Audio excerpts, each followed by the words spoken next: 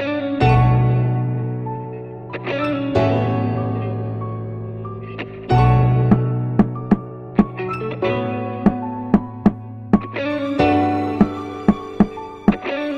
het Duitse Emsland ligt het plaatsje Zeugel, 30 kilometer ten oosten van Ter Apel.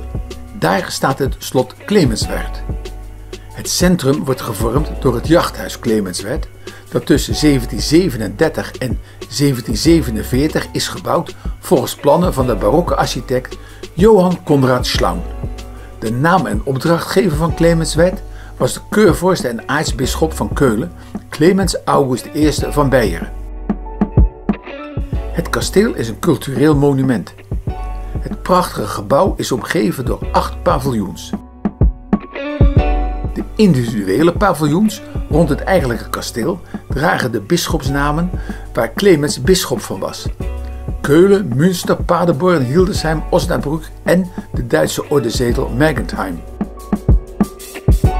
In de paviljoens zijn er verschillende tentoonstellingen over een groot aantal onderwerpen.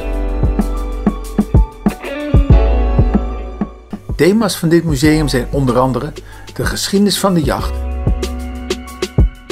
de geschiedenis van het wonen in de streek Emsland, het leven in het kasteel, ook beschouwd vanuit de optiek van dienstpersoneel, de geschiedenis van het kasteel zelf en van de adellijke families die het bewoonden.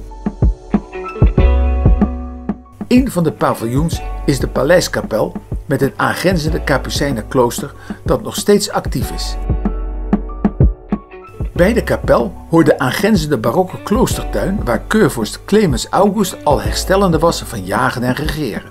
Rustzoekers vinden er nu een toevluchtsoord tussen fruitbomen en taxisharen. Aan het einde van de tuin staat de Gloriette. Die stond beschikbaar voor discreet damesbezoek.